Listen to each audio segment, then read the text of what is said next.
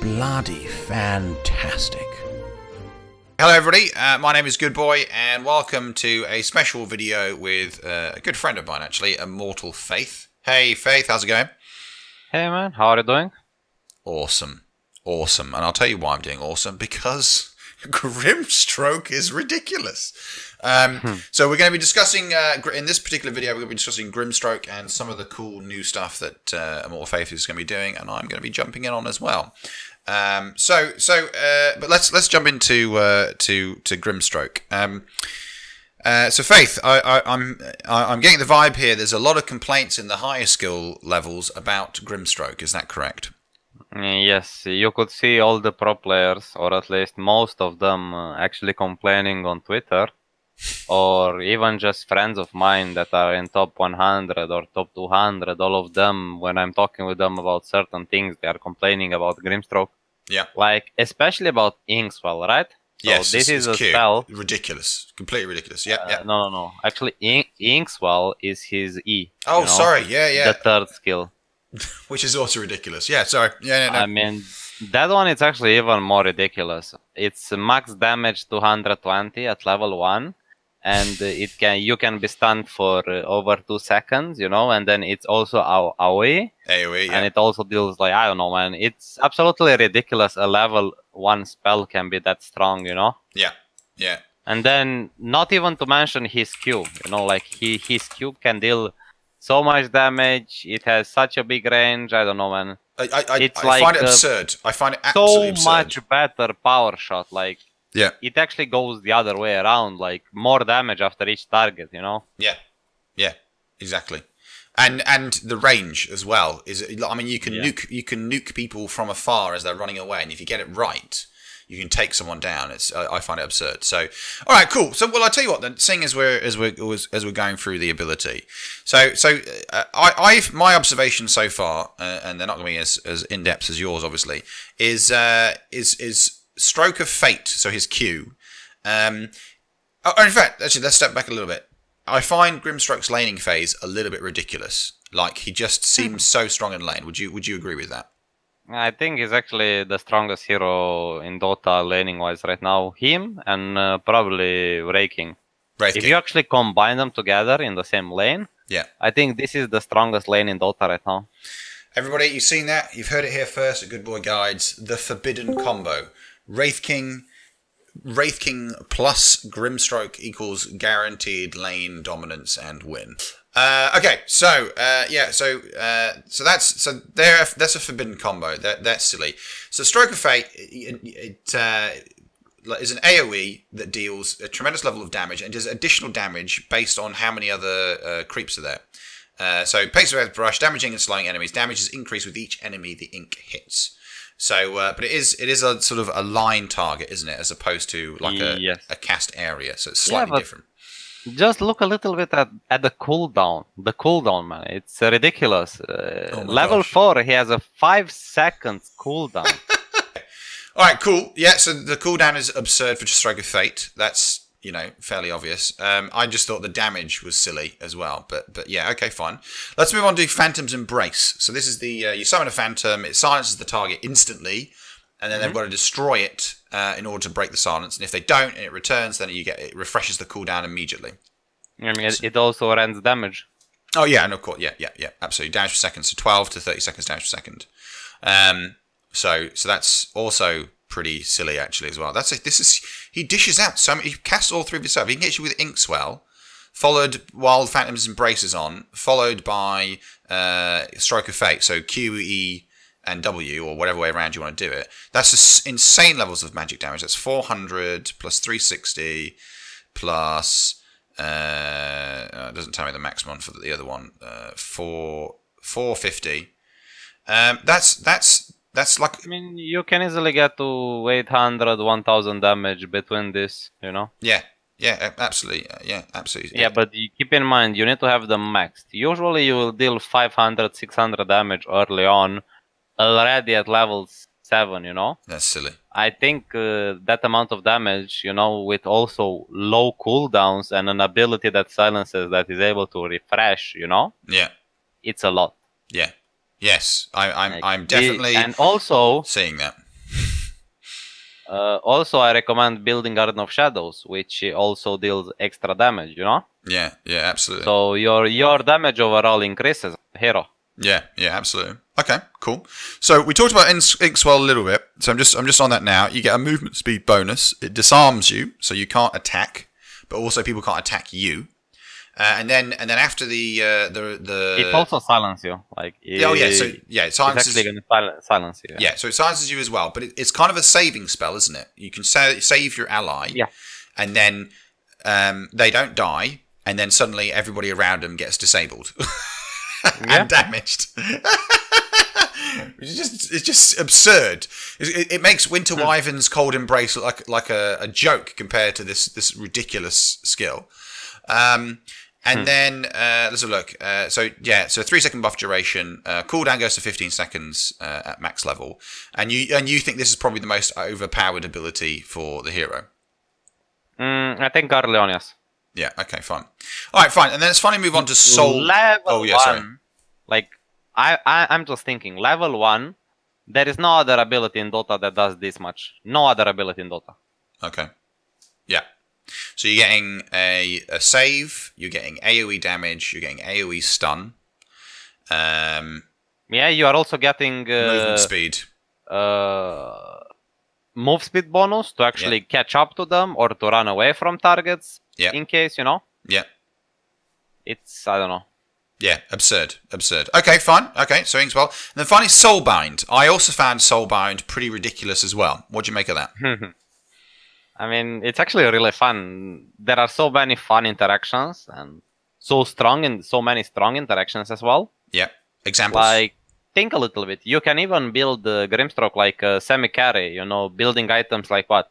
Building items like a Dagon, building items like a Scythe of Vyse. yeah, You basically can disable or damage two people during your uh, ultimate Soulbind, you know? yeah, And it's not only you, it's also your teammates. Imagine you have the Wraith King uh, I mentioned in your team, right? yeah, He's gonna stun two targets during the Soulbind if uh, they are gonna be latched together.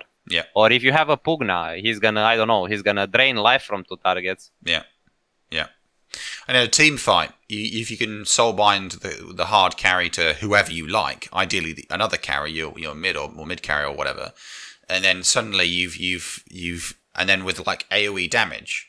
So like you Soulbound and then so I know, Tide Hunter ro- rocks in and does a massive stun or whatever, or AOE damage, whatever. I mean that's a huge level of abuse that you you can inflict, isn't it? Yeah, and they cannot run away, you know, because of the because of the latch. Yeah, So they will always stay together, you know. yeah, yeah. And it's very easy for your team to actually focus down uh, to Yeah. targets, just Eh, because of that. exactly. Because they actually cannot run away. Yeah. Well, at level at max level, level level eighteen, uh, it's forty five percent movement slow. I mean, that's that's absurd. That's absolutely absurd. All right, cool. So so he's so he's pretty absurd. Now you've mentioned so we'll, we'll move. So those are the abilities. We'll move on to like the the tactics, as it were. So in the laning phase. Uh, you mentioned that he, him, and Wraith King in the same lane are just the most broken, overpowered combo ever. So let's let's look at let's expand on that a little bit more. Yeah, okay. It's pretty simple. The way I would play this lane, it's actually super simple. The way I see it, it's like this. You start with your uh, second skill. Okay, let's say you are level 3. Or if Yeah. you want, we can also say you are level 1. Okay, if you're actually level 1, you get your Inkswell. Yeah, You use your Inkswell. Uh, Wraith King immediately follows up with a stun. yeah. And then this combo, you know, Double stun combo. Yeah, you dealing damage with Inkswell and then Wraith King hitting and you hitting after uh, he's getting stunned by your Inkswell, yeah. it actually deals more than 400 or 500 damage. Depending on the enemy move speed, uh, he might uh, be able to escape if he has an escape or if he has like boots, like level 1 or something, but that's Yeah. not really gonna happen. Yeah. You know? If the enemy is out of position, he most likely will die on us. Yeah. It's a little bit uh, broken. Yeah, yeah. Okay, yeah, yeah. That that, uh, that does seem logical. So yeah, so yeah, huge amounts. Now, one of the things I did notice with Grimstroke is he does seem to have a little bit of mana issues because a lot of his spells are quite expensive. So, for example, uh, the first Q, his Q, Stroke of Fate, is 100 mana at level one. Phantom's Embrace is 110 mana at level one, and Inkswell is is 90 mana at level one. So it's slightly cheaper, but these are all quite mana if you do sort of one after the other, you're going to burn your entire mana pool in in. I mean, In three you know what item is really good for mana issues? I'm guessing you're going to say clarity. Yeah, clarity. Yeah. And also, this hero likes to buy um, a magic stick early on, you know, Yeah. because he likes to fight a lot. Yeah. Yeah. Absolutely. So you are you are gonna get uh, magic sticks out of your combats. yeah. That that's gonna help with your mana issues. Yeah. Okay. Cool. Uh, roaming support. You can play him very comfortably as a roaming support, can't you? Yeah, Would you say that's you the can main play him as. with main I way think you, you play can him? play him both as uh, roaming support or even lane support. Yeah. Yeah. I think he's actually really good at both of these uh, things. Yeah, I agree. I agree. I, I just think he's silly. He's just absolutely Yeah. silly. So okay, cool, cool, cool, cool. Then let's talk about mid and late game. Uh, You know, what's he sort of doing? Oh, well, let's let's not jump too far ahead. Let's talk about mid game. So you've had a good laning phase. You know, you, you secured yourself several kills. You've bullied the off laner or, or safe laner, depending on who it is. Where are we at now? What is he doing next? And what what what is the next thing about him that makes him just silly? He likes to fight. He is probably the strongest uh, team fighter uh, support wise, you know, Mm. after the laning stage because he usually, keep in mind I said usually, gets a lot. He gets like uh, either an arcane boots or a tranquil boots, a magic wand, and an urn by minute 10 15, usually, right? Yeah, He just likes to fight after that. You deal so much damage, you have your first skill maxed, you know? And Yeah. then you just dish out so much damage by fighting. yeah, He doesn't like to farm. He doesn't like to, I don't know, you know, AFK kind of. He Yeah. just likes to fight. yeah, Wherever you can find uh, good fights for you and for your team, Yeah. you want to be there as a Grimstroke. You you don't want to play passive. Yeah. You just want to go ham with the fights. yeah, yeah, yeah. Okay, cool, cool, cool, cool. Uh, and then late game because he's the kind of hero that should normally sort of scale off a little bit late game. Or would you say that was not really the Mm. case? Not really. Actually, no. For a support, actually, he scales quite well in the late game. It's just here, I need to mention it. It's a lot about your positioning. Yeah. You need to be careful about your positioning in the late game. Absolutely. If you are actually gonna position yourself in a good way, and you are gonna survive the initial, uh, I don't know, burst of the enemies, or if you are not gonna get caught, Yeah, you are gonna have a huge impact uh, during uh, the late game team fight wise. yeah, yeah, yeah. Okay, fine. And I suppose I, I suppose Soulbind, for example. So um, you know, is it does a hell of a lot, doesn't it? Um, Yeah. Uh, I, I mean, obviously you got your BKB issue. It doesn't it doesn't pierce spell immunity, but at the same time, you know, obviously as soon as BKB is off or whatever, and or a team fight's happening before BKBs are activated, and then suddenly Soulbind kicks in, you're doing tremendous levels of damage. So I suppose that's that's relevant right into the late game, isn't it? Yeah, that is correct. Like the thing is like this, in the late game usually the BKBs are gonna be quite low, right? They are not gonna still be ten seconds, you know? Mhm. So Soulbind is gonna be very strong. And keep in mind, Soulbind max level is actually eight seconds. Eight seconds. Yeah. And I'm just sorry, I've made a mistake in the video. It does actually pierce spell immunity.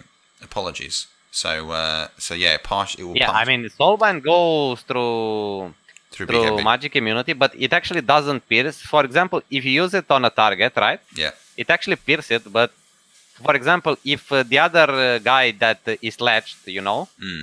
the teammate that is coming close to him is gonna use bkb he can actually run away from it you know Yeah, right. Okay. Gotcha. Gotcha.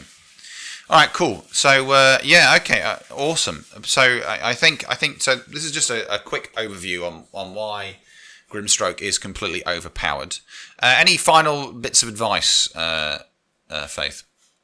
i think this is uh, probably one of the best heroes to grind right now with Yeah. first pick it you have actually nothing to lose by doing so you can play it position 5 position 4 Yeah. honestly sometimes you can even play it position 3 and 2 Yeah. i would recommend uh, playing him as a support because uh, you know Yeah. like you will have enough impact as a support anyway Yeah. Yeah. Yeah. Yeah. And uh, just play the hero because it's so damn strong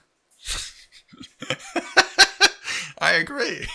I agree. I agree. Completely uh, insane.